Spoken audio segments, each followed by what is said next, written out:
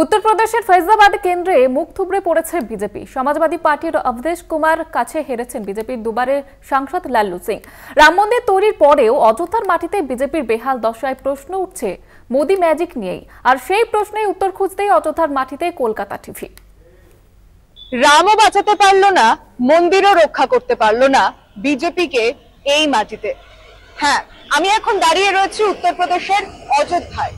রাম জন্মভূমি বলে যাকে গোটা দেশ শুধু নয়, বিশ্বের কাছে বিশ্বগুরু হিসেবে যিনি নিজের নামকে খ্যাত করতে চেয়েছিলেন, সেই নরেন্দ্র মোদীর দল এখানে নিজের এই আসন খুইয়েছে।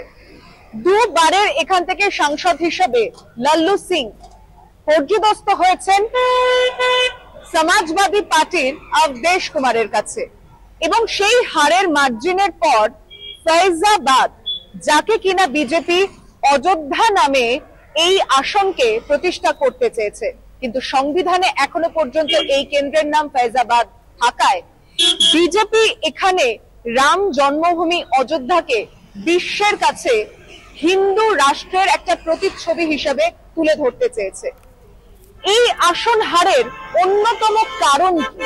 এখানকার মানুষ রাম মন্দিরের মতো রাম জন্মভূমির নামকে পাওয়ার পরও কেন ভারতীয় জনতা পার্টিকে এখান থেকে অর্থাৎ সেই পদ্ম শিবিরের জায়গাকে সেই পদ্মকে কেন সরিয়ে দিল पब्लिक जो है ऊब चुकी थी इनसे और लोग चाहते थे प्रत्याशी भी बदल जाए लेकिन प्रत्याशी भी पार्टी ने नहीं बदला बार बार इन्हीं को लेके आ रहे हैं ये कोई काम नहीं जनता का कर रहे हैं। जनता ने अपनी पूर्ण कोशिश की ऐसा नहीं हुआ लेकिन कुछ प्रत्याशी में भी कमियाँ रह गई। और जनता ने तो अयोध्या से उनको जिताया ही लोगों का कहना ही अलग है क्योंकि अयोध्या से विधानसभा से तो लल्लू सिंह जीते हुए। अदरवाइज़ अगर वो कैंपेन नहीं कर पाए तो वो उनकी अपनी कमियाँ होंगी। जो है यहाँ पे विकास हुआ अच्छा हुआ अयोध्या का विकास हुआ रेलवे स्टेशन मिला हवाई अड्डा मिला सब कुछ हुआ।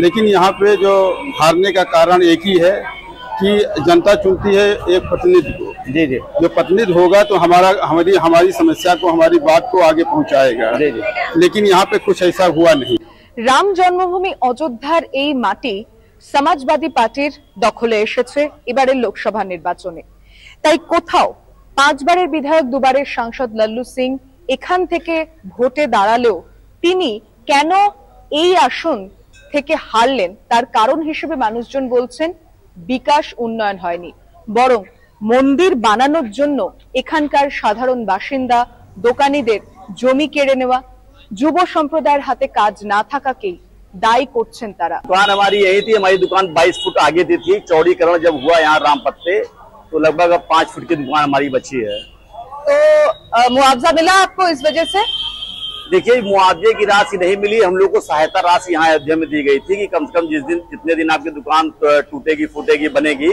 आपका जीवन यापन चलता रहे। कितने पैसे दिए गए थे?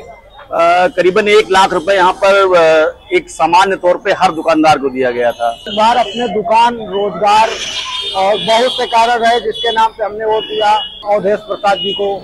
तो भाजपा सरकार ने तो पैसे दिए थे फिर भी वोट क्यों नहीं किए? पैसा नहीं वो अनुदान राशि दिया था। अनुदान अनुदान राशि कितने उसे- रुपए उसे, उसे पैसा नहीं कहते एक लाख रुपए কারণটা খুবই আশ্চর্যজনক রুটি কাপড়া মাকানের লড়াইয়ে মন্দির জিততে পারলো না এবং মন্দির না জেতার কারণেই কিন্তু সমাজবাদী পার্টির পতাকা শুধু নয় মানুষ চাইছে উন্নয়ন বিকাশ শুধু মন্দির নয় চাইছে চাকরি চাইছে কর্মসংস্থান যুব সম্প্রদায় শুধু নয় এখানে মন্দির বানানোর জন্য যে মানুষগুলোর বাড়ি ভাঙা হয়েছে, যে মানুষগুলোর দোকান জীবিকা কেড়ে নেওয়া হয়েছে, তারা ভাজপার ওপর এবার অন্তত আর বিশ্বাস করেনি। মোদীর সংকল্প এখানে কেন পূরণ করল না রামলালা?